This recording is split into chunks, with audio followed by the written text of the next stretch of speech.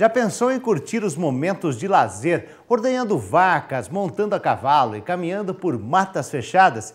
As atividades típicas da fazenda têm se tornado atrativo para um público cada vez mais interessado no turismo rural. Nossa equipe de reportagem foi até Formosa, em Goiás, para conhecer um hotel totalmente voltado ao setor. Confira.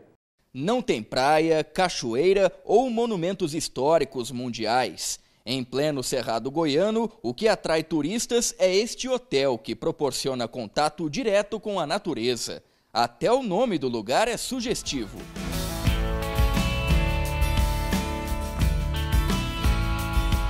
O Hotel Fazenda leva o nome de Araras justamente por conta da presença muito forte da ave aqui na região. Algumas foram até mesmo domesticadas por moradores aqui dos arredores e, inclusive, no hotel a gente pode ter um contato bastante próximo com elas, algo que seria raro na natureza em geral. Como é que vocês deixaram esses animais tão mansos assim, Leilson?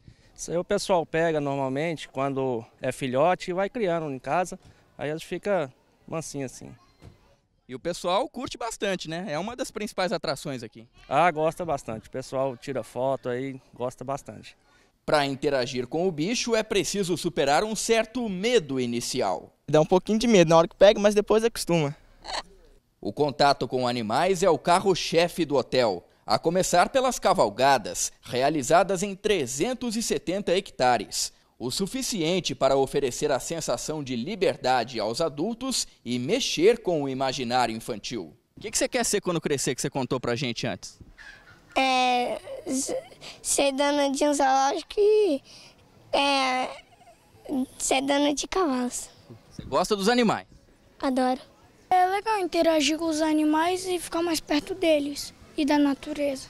Toda a diversão vem acompanhada de aprendizagem. No meio do rebanho, Arquimedes relembrou ao lado do filho os tempos de pecuarista leiteiro. Aqui, pai, você pega aqui, ó. Bota a mão. Bota a mão no peito, aperta de cima para baixo, até chegar aqui, ó. É fácil, ele. Eu sei. Mamãe, tem que pegar mais no biquinho. Perto dali, a família inteira do seu Aldo passeava de charrete. O que para ele era comum no passado, para as netas era novidade. Foi a primeira vez que elas usaram um transporte movido a tração animal. Na cidade você não vê um porco, não vê uma vaca, não vê um búfalo. Aqui, né? Aqui pode andar de charrete, pode né? viver um pouco a natureza, né? É, se alimentar de comidas que não são aquelas urbanas, né? Enfim, pamonha, que eu gosto muito, né? Enfim, eu acho que é um ambiente muito bom para as crianças. Elas entram em contato com a natureza e têm uma experiência diferente. E nem é preciso sair do lugar para aproveitar o dia. Sombra e vara de pescar com iscas foram o suficiente para o Roberto. É porque é bom, né? A gente se distrair um pouco, sair daquela rotina lá. Porque eu moro perto da cidade, né? Aí tem um. Lá é um pouco mais tumultuado, né? A gente gosta mais de vir por tranquilidade, assim. Que aqui é muito bom, gosto muito daqui. Pela tranquilidade, não precisa nem pegar peixe. É, só tô na paz, né? bom demais. Uma pegada nada parecida com a desta turma. Vamos sair para a trilha ecológica agora! Bom dia! Vamos aí! Muito preparo para quase uma hora de caminhada. Tem preocupação com o corpo e também com o meio ambiente. Durante o percurso, espécies nativas são apresentadas com muito bom humor, sem deixar de lado o foco na preservação ecológica. Não joga lixo, né? não quebre árvore, não esfolia assim as árvores, né? porque imagina, por exemplo, assim, uma árvore sendo quebrada tanto de anos para reconstituir né, e voltar ao mesmo formato. E eu simplesmente eu falo na trilha, é uma energia totalmente diferente, porque as pessoas vão eu brinco, interajo com eles, né? Porque aí é uma brincadeira totalmente diferente. Porque eu explico, aí depois na, tem uma criança pequena, a criança mais adulta, né? Aí eu vou brincando, vou brincando nessa brincadeira, eles já vai aprendendo com a brincadeira. Bióloga, Flávia aliou o passeio com os sobrinhos ao trabalho na prática. Nosso bioma que a gente está aqui é o bioma cerrado. E esse bioma, ele tem várias, várias é, fitofisionomias. A gente está dentro de uma mata de galeria, que é uma mata que é uma mata fechada, que prov provavelmente deve ter um rio próximo No meio da mata fechada ou no campo aberto com os animais, opção de lazer é o que não falta no turismo rural.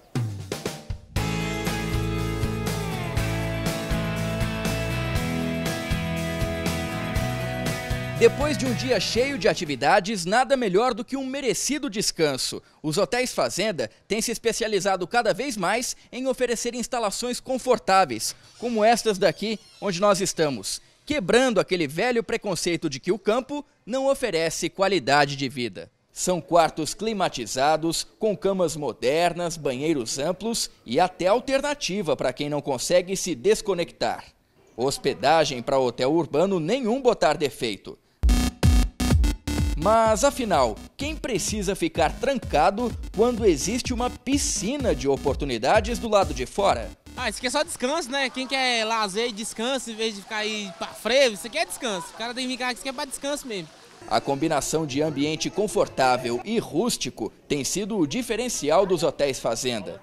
De acordo com a Organização Mundial do Turismo, o crescimento internacional do setor é de 6% ao ano. Pelo menos 3% dos turistas de todo o mundo direcionam suas viagens ao turismo rural. É de olho nesse público que o Ivo investe no segmento há 18 anos. Os colegas me deram a ideia. Falo, seu Ivo, por que o senhor não transforma num hotel fazenda, num turismo rural, para a gente poder visitar quando a gente quiser e, e fazer a nossa reserva, te pagar, porque a propriedade é muito bonita, a natureza é muito bonita, a região muito bonita, e o senhor deixa a gente muito à vontade. Então tem tudo para dar certo. Daí eu acreditei neles, montei, iniciei e venho fazendo devagarzinho, sem financiamento, sem e aprendendo. Até hoje estou aprendendo e tem muito o que aprender ainda. Aí a maioria desses que me deram a ideia me abandonaram. Hoje eu estou com um barco aí, colhendo outros clientes do, do, do outros segmentos e, e do nosso mesmo, de bancários, e estamos tocando. De lá para cá, o negócio que nasceu por acaso se profissionalizou. Só esta unidade gera 33 empregos diretos e outros 20 indiretos. Mais do que números, as centenas de propriedades voltadas ao turismo rural no Brasil geram a consciência de que nem só de ambiente urbano vive a sociedade.